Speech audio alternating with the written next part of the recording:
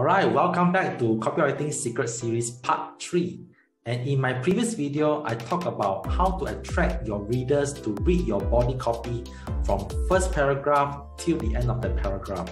So let's say after they finish reading your copy, what's next for them? Well, you need to include one important element at the end of the copy, which is your call to action. That's why in this video, I'm going to share with you my five killer call to action tips that you can use immediately so that your readers can stop procrastinating and take the next course of action. Let's deep dive in right now.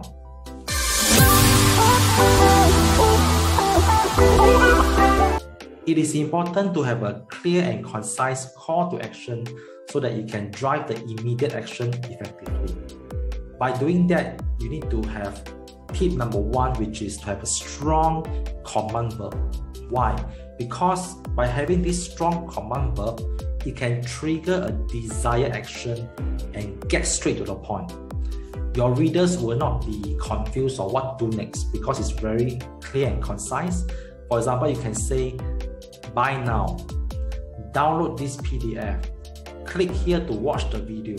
So by doing that, your readers will know what to do next. So always remember, put in a very strong command verb to trigger the desired actions for your readers.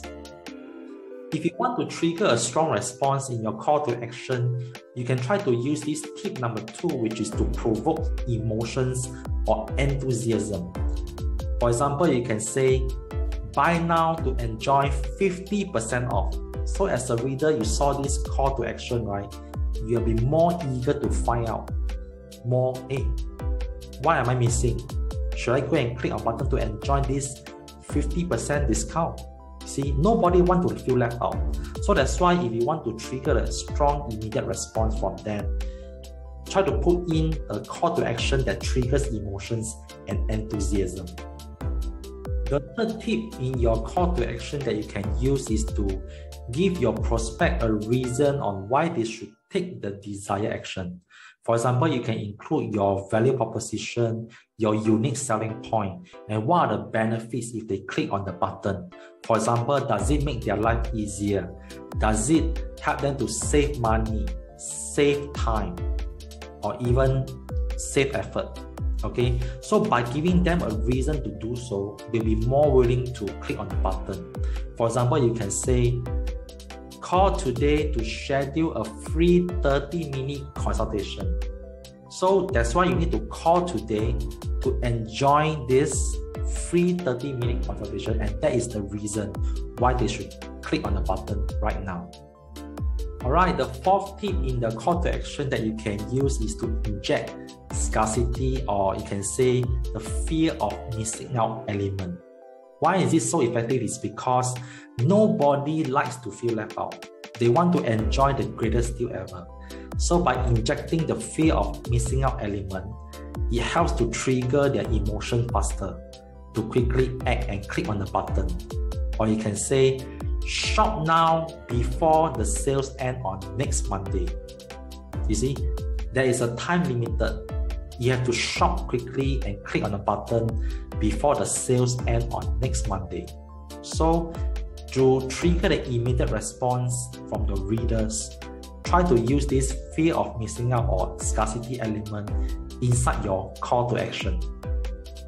The last tip you can use in your call to action is to put in numbers. Why? Because our brains are triggered to attract numbers in a logical way. You can put it inside your pricing, incentives, promotions, discounts. For example, you can say, shop today for smart TV under $300. So when you see the number $300, right, you feel attracted to it. You want to know, oh, why this smart TV is so cheap? I want to click on the button to buy. You see, by putting numbers, it tends to attract the readers to click on the button. So try it out and let me know whether it is useful for you. Alright, this sums up my 5 killer call to actions that you can use immediately to trigger an immediate response from your readers. If you find this video useful, please help me to click on the subscribe button below and hit the notification bell and also help me to comment below to let me know what are the new topics that you are interested with so that I can produce more of this video just to benefit you. Well, if you missed out my previous two videos on the copywriting secret series on headlines and body copy, please remember to click over here to watch the entire series so that you can have a holistic picture on how to write a persuasive copy that sells. Well, that's all for now and I'll see you in my next video.